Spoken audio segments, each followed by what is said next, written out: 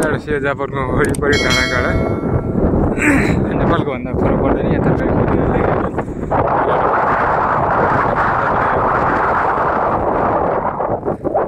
यसो सपिङ गएर अनि नेपाली रेस्टुरेन्टतिर गएर खाजा नास्ता खाइयो अहिले चाहिँ फर्किँदै बाटोमा हामी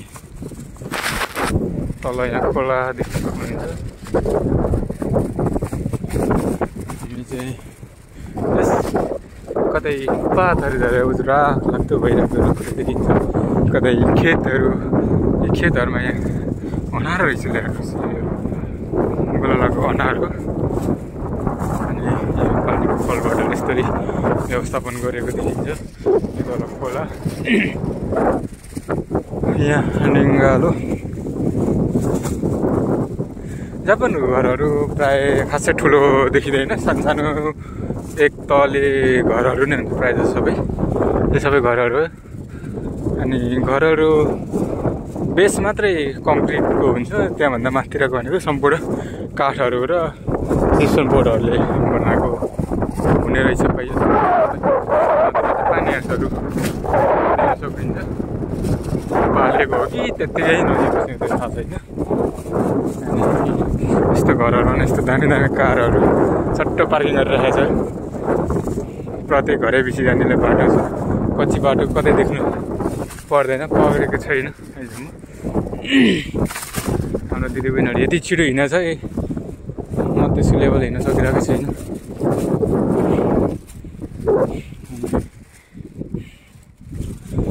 हो सोल्टी अनि यो खोला चाहिँ तल गएपछि समुद्रमा मिसिएको छ।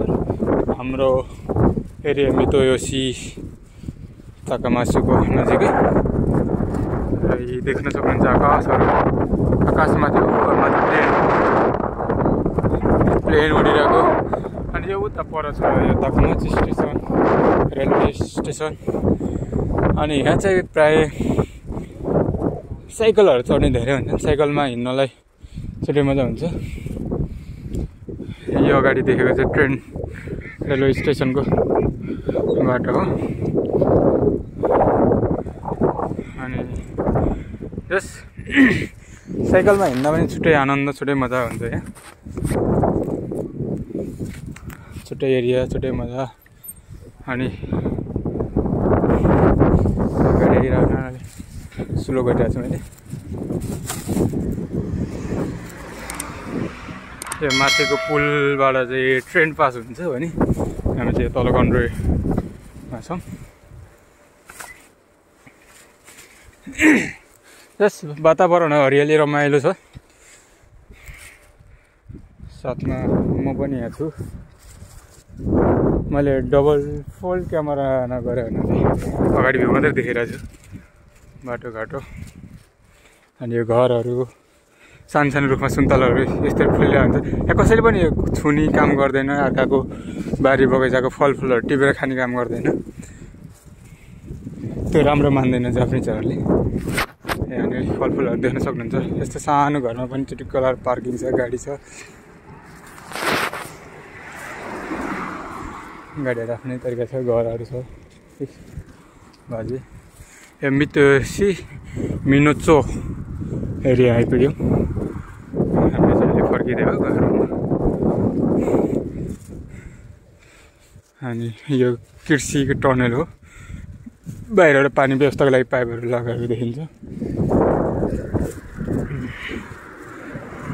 तरकारी खेतीहरूको लागि बनाएको टनल यो घरहरू घरहरू सबै अब अलि यो अन्त हेऱ्यो अलिक गाउँ एरिया त्यही भएर नि घरहरू अलिक सानो सानो एक अलि जस्ट आफू बस्नुको लागि मात्रै बनाएको घर जुन अपार्टमेन्ट स्टाइलको छैन यहाँतिर। यहाँ तरकारी टनल खेतीहरू हो अनि प्रत्येक घरमा रोडको एक्सेस छ इन्टरनेट बत्ती बिजुलीको एक्सेस छ ग्यास लाइन सबै पाइप लाइनको एक्सेस छ। र गाडी पार्किङहरू नभएको घर छैन सबैको उचित व्यवस्थापन गरेको छ। रमाइलो छ। जापानको एउटा गाउँमा छौँ हामी। विगत चार पाँच महिनादेखि यो एरियामा हामी बसिरहेछौँ। अनि यहाँतिर हिँड्दा चाहिँ बिहान बेलुका हिँड्दा नि एकदम साइकल युज गर्छ साइकलमा पनि एउटा छुट्टै व्यवस्थित साइकल छ। साइकलमा पनि मोटर बाइक बाइकहरू जस्तै नम्बर सिस्टम हुन्छ। त्यो नम्बर जुन व्यक्तिको लागि हो त्यही व्यक्तिको नाममा रजिस्टर रजिस्ट्रेसन गरेको हुन्छ। र त्यो साइकलमा हेडलाइट पनि राख्दै हुन्छ। रातको समयमा हेडलाइट अनिवार्य बाल्नुपर्ने हुन्छ। र अरू यस्तै हो। यहाँ छेउ साइडमा बगिरहेको खोला छ। खोलाको पानी एकदम सफा कञ्चन पानी बगिरहेछ।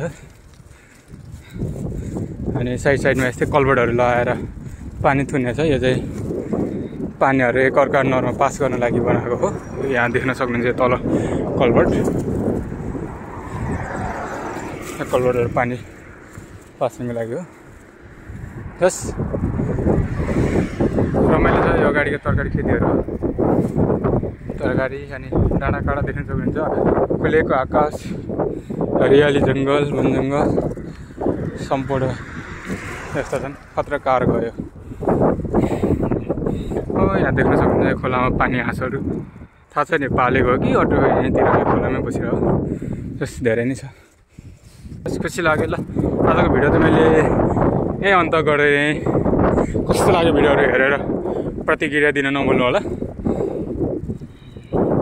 अझै यो भर्खर भर्खर पहिले पहिले भिडियो हो पछि पछिका अझै राम्रो भिडियोहरू नयाँ नयाँ ठाउँमा गएको। अब महिना तिन चार पछि साकुरा फुल्ने बेला हो। त्यति बेलाको साकुराहरूको फुलहरूको भिडियो बनाएर हाल्नेछु। Hope guys wait and soon see you for next the video bye